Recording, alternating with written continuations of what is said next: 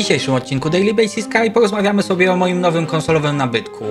Zainteresowani zapraszam do oglądania.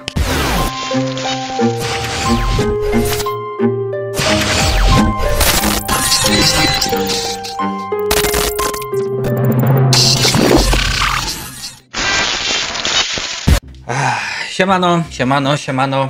Mm, jak widzicie tło i oglądacie mnie w miarę regularnie, to wiecie, że jest to tło, na którym nagrywam Spirit Huntera, więc y, logika nakazuje, że jestem po nagraniach do Spirit Huntera, którego zobaczycie sobie jutro.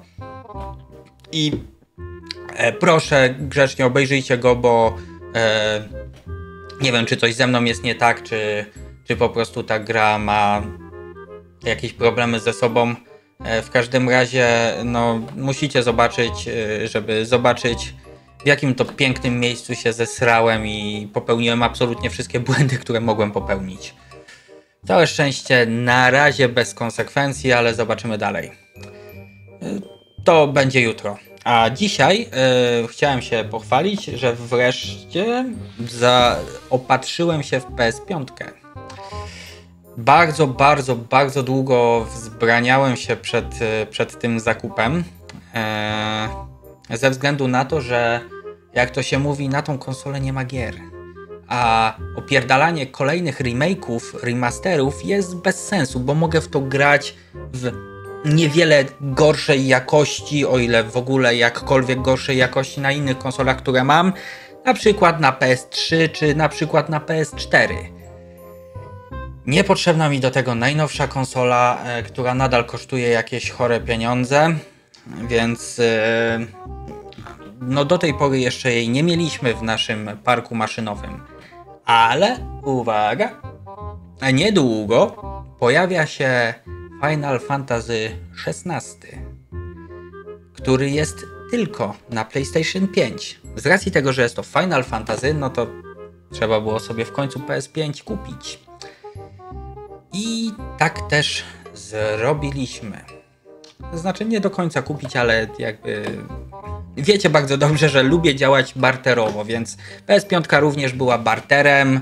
Nie będę się wdawał w szczegóły, bo nie dostałem pozwolenia, żeby o tym opowiadać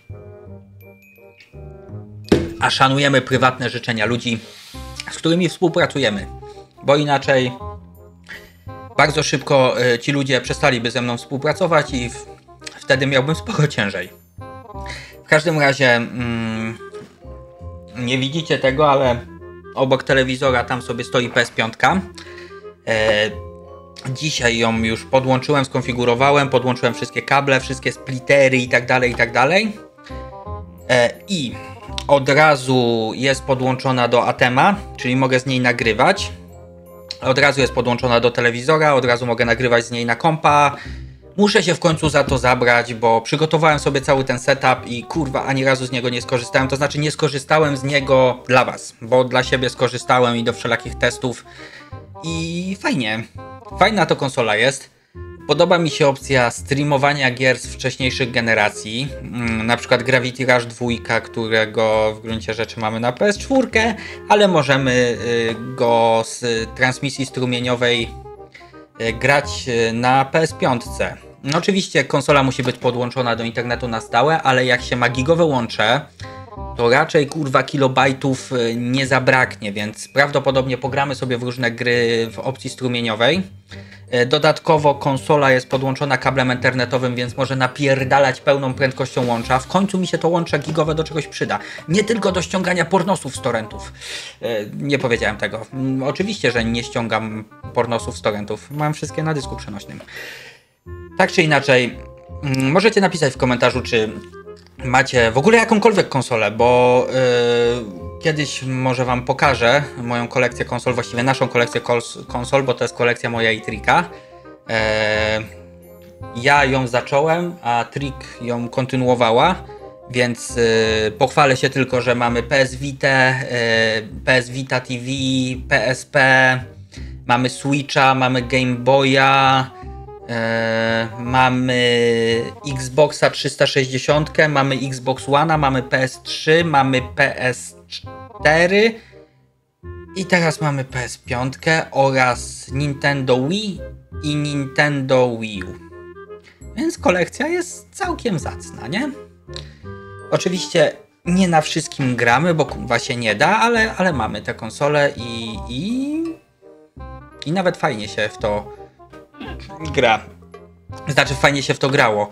Yy, Teraz, w momencie, w którym się pojawiła bajoneta na Nintendo Switcha, to będę mógł w końcu Wii U sobie schować, które stało tutaj tylko dlatego, że chciałem zagrać w bajonetę dwójkę, właściwie skończyć ją, bo nigdy jej nie skończyłem, a teraz mogę to zrobić na Nintendo Switchu. Fajnie, fajnie. Mnie się również podoba. Dobra, bo się rozgadałem. Eee, nie wiem, czy będziemy, czy będę coś transmitował z e, gry na PS5, ale chciałbym. Tylko po prostu kurwa nie ma czasu.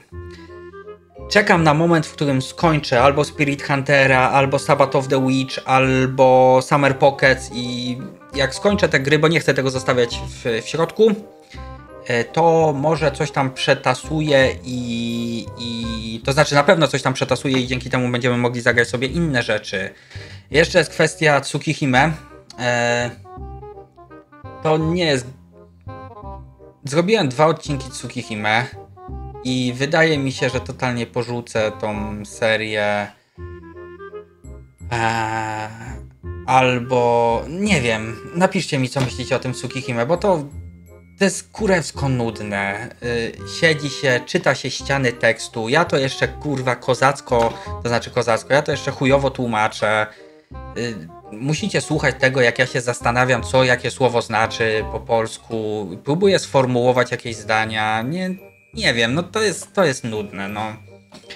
To jest nudne i, i, i po prostu chyba nie chce mi się tego robić. E, To jest za stara gra, no po prostu ta gra moim, w moim odczuciu nie przeszła próby czasu.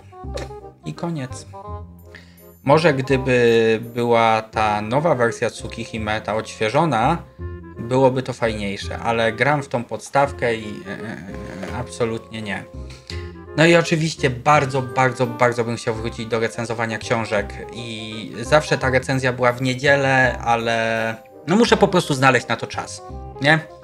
Mam jeszcze pomysł, żeby zrobić trochę recycle contentu, który kiedyś pisałem i niektórzy mogli tego nie widzieć i zrobić z tego nagrania, no ale a po prostu trzymajcie kciuki, żeby, żebym wreszcie wrócił do recenzowania książek, bo od tego się wszystko zaczęło na tym kanale i chujowo by to tak było trochę porzucić, bo, bo jednak fajnie by było krzewić dobre, fajne książki, których możliwe, że nie znacie, których na pewno nie znacie, bo, bo nie ma ich po polsku.